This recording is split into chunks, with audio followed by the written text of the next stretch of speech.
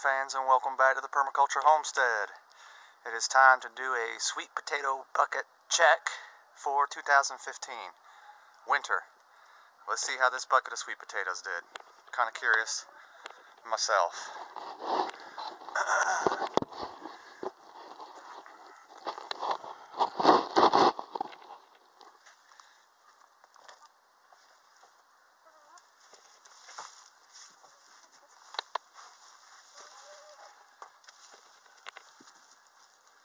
At that.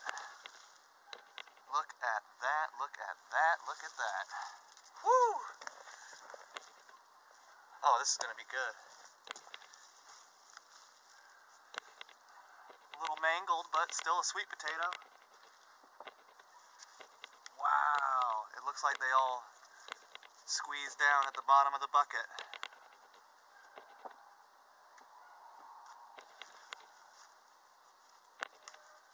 Look at this. That's awesome.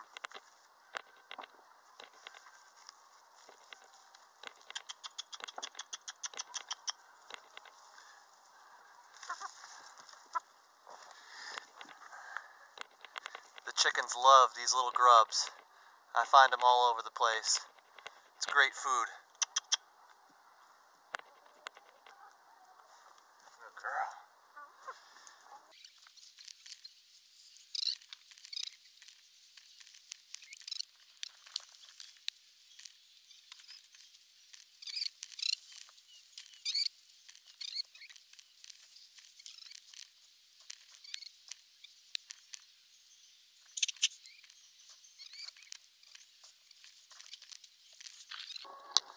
Folks.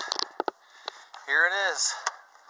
My sweet potato bucket harvest for 2015. A couple of these guys look like they just curled up at the bottom of the bucket, but uh, it's still a sweet potato. Kind of looks like a rolled up dog duke, to be very honest. But for putting about three slips into a 10 gallon bucket here made for trees, actually got some pretty good uh, yield. I'm surprised. So there we go, growing sweet potatoes in buckets. A success again. I'm going to continue doing my potatoes in buckets. Just seem to have uh, better results. Appreciate y'all watching. Keep in touch for more. God bless.